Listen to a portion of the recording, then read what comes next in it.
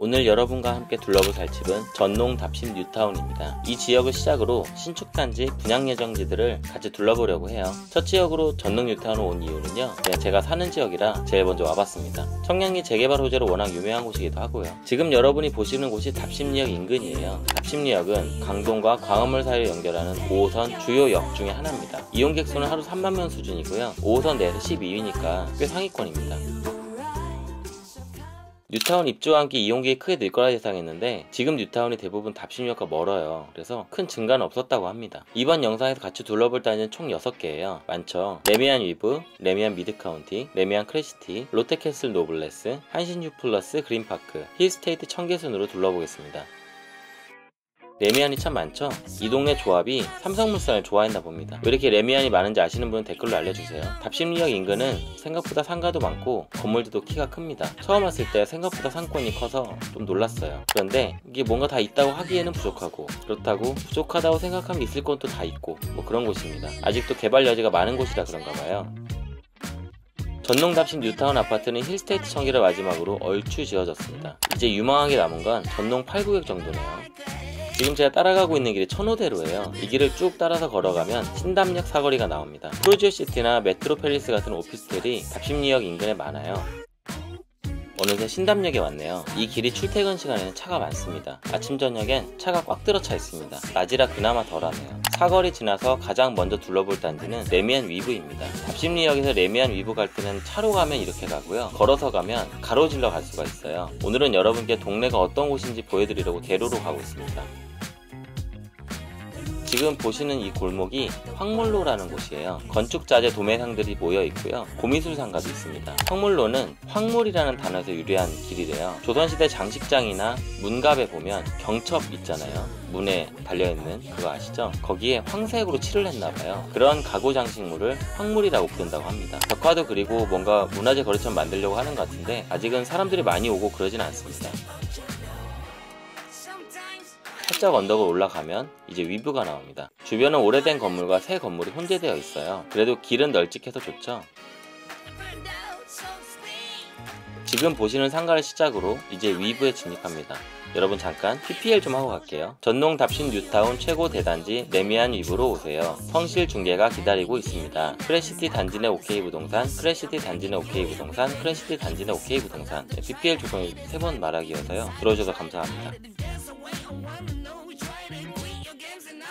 레미안 위브는 2014년 10월에 준공한 아파트입니다. 전세는 6억 전후, 매매는 11억 전후입니다. 실거래가 최고가는 지난 12월에 11억 4,500만 원이 찍혔어요. 공공임대 453세대를 포함해서 2,652세대고요. 9층부터 22층까지 있습니다. 세대당 주차 대수가 1.2대예요. 살짝 아쉬운 숫자죠. 이름에서 알 수 있듯이 삼성물산과 두산건설이 같이 지은 컨소시움 아파트입니다. 25평부터 51평까지 10개 타입이 있고요. 개별 난방이에요. 전체 동이 답십리초로 배정됩니다. 래미안 위브는 구역에 따라서 앞자리 숫자를 달리해서 구분을 해놨어요. 4로 시작하는 동이 초등학교가 가깝습니다. 도보로 5분 이내에요. 이 단지 외에도 답십리 파크자이, 답십리 두산 아파트도 답십리초로 배정이 됩니다. 이 단지가 답십리역 역세권인데요. 도보로 10분 전후로 걸립니다. 보통은 저희가 방금 지나온 황물로를 가로질러서 출퇴근을 하시더라고요. 위브는 메인 상가가 되게 잘 되어 있어요. 한 가지 아쉬운 건 단지 내에 도로가 있어서 차가 다닌다는 거예요. 구역별로 주차 공간이 있어서 편리한 구조기는 해요. 하지만 저는 아이들이 어려서 단지 내 차가 다니는 단지를 별로 선호하지 않습니다. 호불호가 있는 것 같아요. 1층은 필로티 구조인 동들이 있네요. 여기도 지어진 지 벌써 5년이 됐습니다. 시간이 참 빨라요. 살짝 언덕이 있습니다. 성동구만큼은 아니지만 이쪽도 약간은 구릉지예요. 길이 끝이 없죠? 사거리를 만났습니다.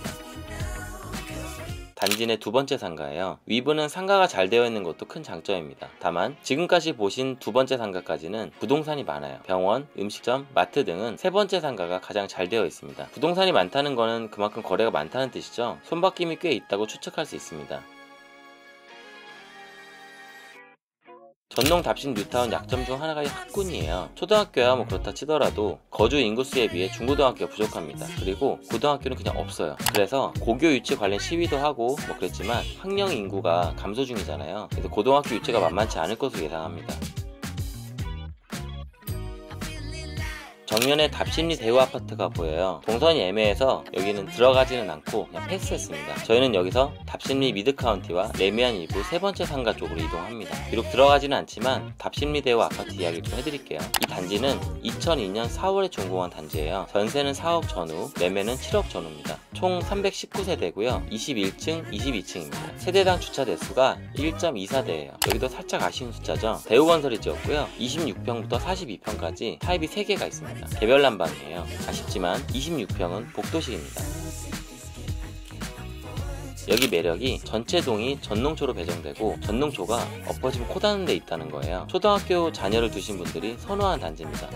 전세는 매물이 거의 없어요. 이 단지는 답심역이 가장 가까운데요. 역세권은 아닙니다. 도보로 20분 전후 걸려요. 대로를 따라서 이동하시면 되겠죠? 제가 꽤 괜찮게 보는 단지예요. 원래 아파트 가격이라는 게 유명한 단지 먼저 오르고 그 주변 단지가 오르는데요. 유명한 단지들 사이에 있어서 그런지 가격이 상대적으로 저렴합니다. 다음에 기회 되면 한번 놀러 갈게요.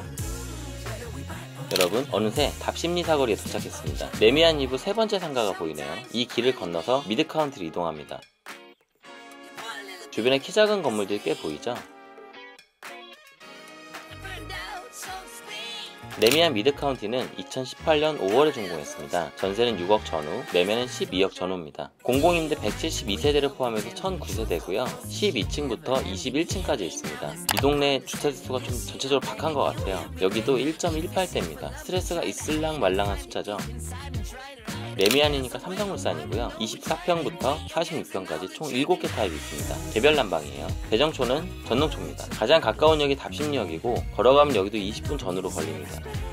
저는 여기가 여기랑 너무 멀어서 인기가 있을까 싶었거든요. 하지만 의외로 이 지역에서 인기가 꽤 높습니다. 전농초등학교 덕분이래요. 초등학교까지 걸어서 바로 이동할 수 있고요. 동대문 중학교도 길 하나만 건너면 됩니다. 그리고 래미안 위브 메인 상가도 가까워서 생활하기 좋아요. 또 때마침 분양가 상한제로 인한 신축 열풍도 불었죠. 이래저래 인기가 많은 단지입니다. 천세대라 단지가 꽤 큰 편인데요. 주변에 위브나 크레시티 같은 공룡이 자리하고 있어서 상대적으로 아담해 보입니다. 하지만 절대적인 숫자만 보면 1천세대 이상이니까 꽤 크죠. 이제 미드카운티를 벗어나 래미안 크레시티로 이동합니다.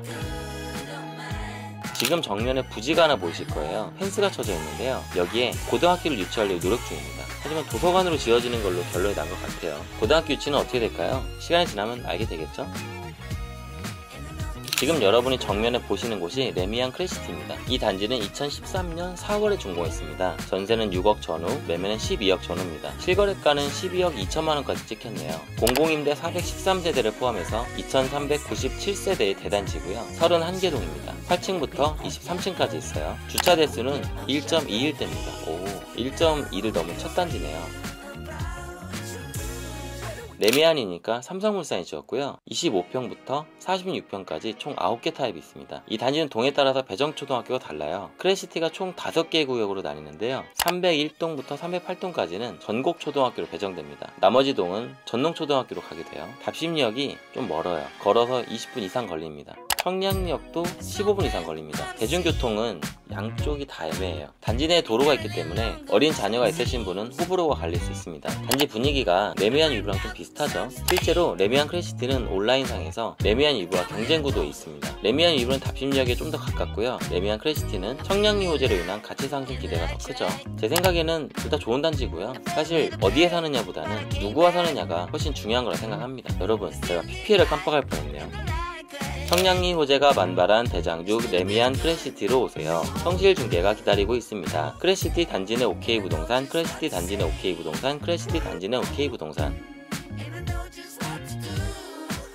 이제 롯데캐슬 노블레스에 진입합니다. 이 단지는 2018년 6월에 준공한 단지죠. 매매는 14억 수준이고요. 전세는 6억 이상입니다. 실거래가도 12억 9천만 원까지 찍혔어요. 이래저래 뉴타운에서 가장 가격이 많이 오른 단지입니다. 22층부터 29층까지 있어요. 584세대입니다. 다른 단지들보다는 좀 작죠? 중형 정도 되는 거예요. 주차 대수는 1.14대입니다. 롯데건설이 지었고요. 개별 난방입니다. 25평, 34평 이렇게 두 개가 있고요. 타입이 각각 AB 타입이 있어요. 그래서 총 4개 타입이 있습니다. 전농초로 배정되고요. 래미안 크레시티를 거쳐서 전농초로 걸어서 갈 수 있어요. 도보로 10분 정도 걸리고요. 가깝다면 가깝고 멀다면 먼 곳이에요.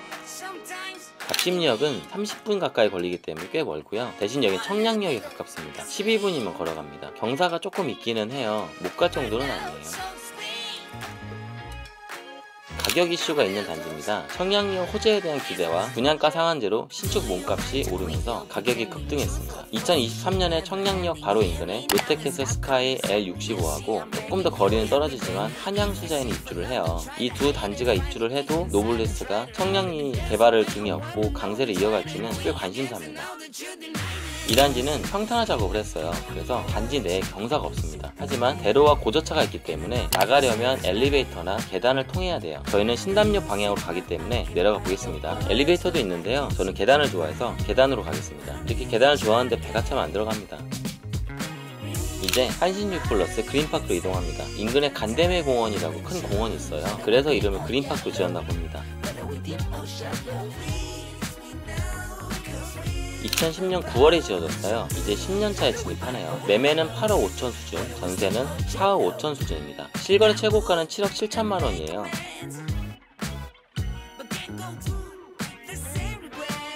세대수는 141세대예요. 소규모 단지죠. 9층부터 12층까지 있습니다. 주차는 1.5대입니다. 지금까지 둘러본 곳 중에서 처음으로 1.5를 넘었네요. 이 정도면 스트레스는 없는 수준입니다. Q플러스니까 당연히 한신공영이 지었습니다. 25평부터 44평까지 있고요. 타입은 4개입니다. 이 단지는 신답초로 배정됩니다. 여기도 청량리역하고 답심역 모두 다 애매한 거리에 있어요. 두 역 모두 도보로 20분 정도 소요됩니다. 비가 온 직후라 그런지 분위기가 고즈넉하죠. 한 가지 아쉬운 건 지상주차라는 거예요. 2010년이면은 지하주차장을 도입한 단지도 많았는데 여기는 그러지 않았습니다. 그리고 아파트 키가 좀 작습니다. 저는 개인적으로 이렇게 키가 작고 고요한 느낌을 주는 단지를 좋아해요. 이야기하다 보니까 어느새 다 둘러봤네요. 이제 간대매 공원을 지나서 힐스테이트 청계로 이동합니다.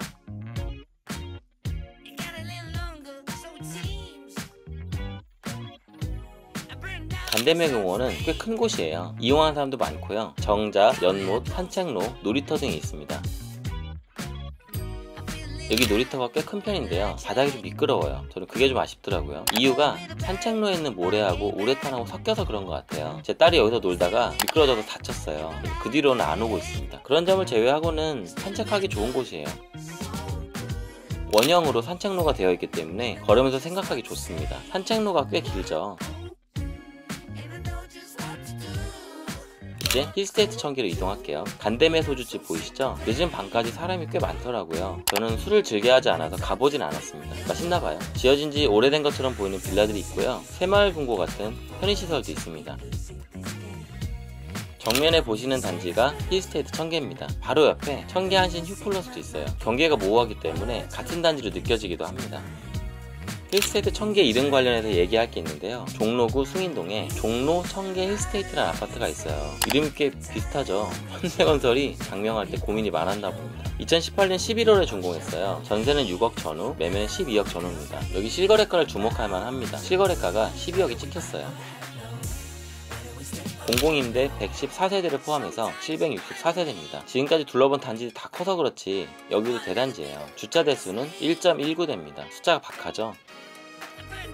현대건설이 지었고요. 22평부터 34평까지 있고 타입은 6개입니다. 배정초등학교는 한신유 플러스 그린파크와 마찬가지로 신답초등학교입니다. 신답역, 답심역, 더블역 세권입니다. 답심역은 12분 정도 걸리고요. 평지에다가 대로기 때문에 되게 편해요. 그리고 신답역은 길 하나 건너면 되니까 역세권이라고 하는데 지선이라 배차 간격이 10분 이상입니다. 저는 단지 내로 차가 올라오지 않는 게 되게 마음에 들더라고요.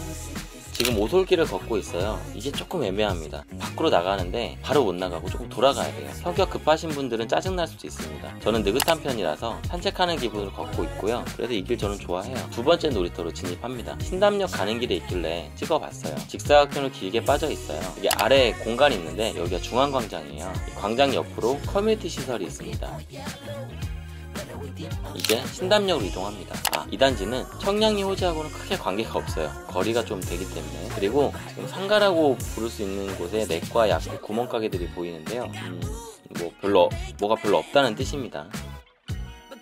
동네 파전이라는 집이 있어요. 여기도 손님 항상 많습니다. 맛있나봐요. 제가 맛을 검증해드리기는 어렵습니다. 여기도 제가 안 가봤어요. 간대매 술집도 그렇고 여기도 그렇고 제가 술을 안 좋아하다 보니까 사람이 많네라고 하고도 그냥 지나치거든요. 길 건너로 신담역이 보입니다. 자, 이 영상의 마지막 종착지입니다. 신담역은 2호선 지선이에요. 역도 아담하죠. 신설동역과 성수역을 지나는 역이고요. 신설동과 답심리 이름을 따서 신담역이래요. 여기가 하루에 3,000명 정도 이용하는데요. 답심리역이 아까 3만 명이었어요. 10분의 1 정도 되는 거죠. 다시 말해서 이용을 많이 하지 않는 역이라는 뜻입니다. 그리고 지상철이라서 기다릴 때 여름엔 덥고 겨울엔 추워요. 다만 설계상의 어떤 배려를 해서 그런지 바람이 많이 들지는 않습니다. 그래서 생각보다는 아늑해요. 보시는 것처럼 여기는 역이라기보다는 공원이에요. 아마 역으로 이용하시는 분보다 공원으로 이용하시는 분이 더 많을 거예요. 여기 옆으로 운동기구도 있고요. 위에 건물은 서울교통공사 신담별관입니다. 저하고 큰 관련은 없네요. 열차 승하차객보다 공원으로 이용하시는 분이 더 많은 신담역은 그런 곳입니다. 말하고 보니까 좀 이상하네요. 자, 여기까지 저희 살집 채널 박미미와 함께 전농 답심 뉴타운 둘러봤습니다. 재미있으셨는지 모르겠어요. 다른 지역도 이런 식으로 하나씩 불러보겠습니다. 재밌게 보셨다면 좋아요, 구독, 그리고 알람 설정까지 꾹꾹 눌러주시고요. 앞으로도 응원 많이 부탁드려요. 감사합니다. 뿅!